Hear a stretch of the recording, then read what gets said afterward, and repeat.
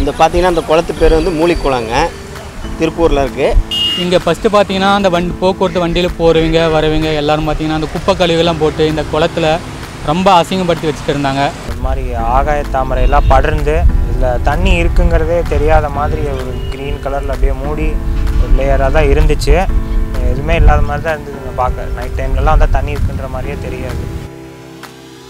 இப்போ இவங்க இந்த என்ஜிஓஸ் அங்கே வந்த பிறகு இது நல்லா க்ளீன் பண்ணி ஒரு மூணு நாலு மாதமாக க்ளீன் பண்ணி அழகாக நீட்டாக வச்சுருக்காங்க. இப்போ வந்து இதெல்லாம் பண்ணி இது பண்ண பிறகு தூர்வாரி எல்லாம் பண்ண பிறகு இந்த ஏரி வந்து கொஞ்சம் நல்லா இருக்குது இப்போ எல்லாம் வந்து இது இதெல்லாம் போட்ட பிறகு கேட்டுக்கெல்லாம் போட்ட பிறகு நல்லா இருக்கு. இப்படியே இருந்ததுன்னா நல்லா தண்ணின்னு எல்லாமே தேங்கி நல்லா ஓரளவு சுத்தமாக இருக்கும்.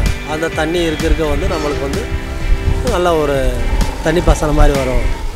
இப்போ நல்லா கம்பி வேலி போட்டு கேட்டு போட்டதுனால இப்போ யாருமே கழிவு கொட்டாததுனால இப்போ குளமும் நல்லா நீட்டாக அழகாக இருக்குது பா பார்க்கணுன்னே தண்ணி இருக்குன்றது தெரியுது.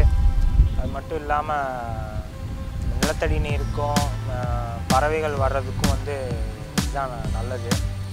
ஸோ பறவைகள் வந்தால் தான் மீன்லாம் சாப்பிடுங்க. பறவைங்க நடமாட்டமும் வர வர குறைஞ்சிட்டே இருக்கிறதுனால இது ஒரு நல்ல மெஷராக